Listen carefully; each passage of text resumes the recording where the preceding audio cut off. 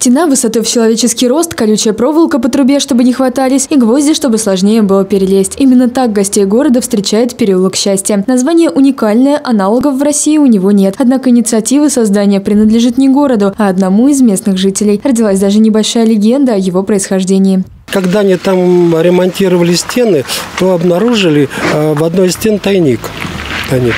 Они э, проникли в нишу этого тайника и обнаружили там ангела хорошо сохранившаяся статуэтка ангела. В связи с тем, что дом такой счастливый, а не назвать ли нам этот переулок переулком счастья? Жители дома номер 10 на улице Соборной инициативу не оценили. Рассказывают, что незадачливым туристам, которые пытались прогуляться по переулку, выливали на голову ведра воды. Остальных до сих пор встречают бранными возгласами. Похоже, рязанское счастье темное, сырое и все в мусоре. Но гостей города это не смущает, как и топонимическую комиссию. Официальным названием отношения имеет, мы название такое, такого не давали, но тем не менее, тем не менее, мы все-таки решили оставить, сохранить это народное название, ради бога, это приятно, это интересно, а, это как э, интересный туристический объект. Вскоре после появления переулка Счастья в дом, на котором установлена табличка, переехал дворец бракосочетания. Теперь именно здесь соединяют свои судьбы по-настоящему счастливые люди.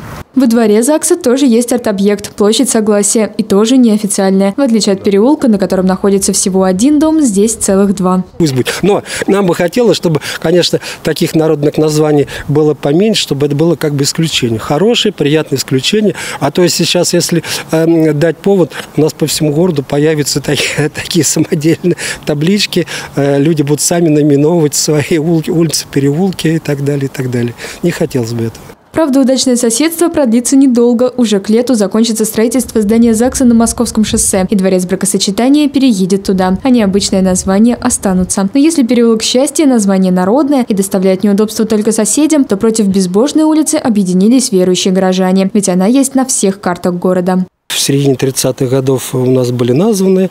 А, у нас было тогда в Рязани существовало общество, а, так называется, союз, Рязанское отделение Союза воинствующих безбожников.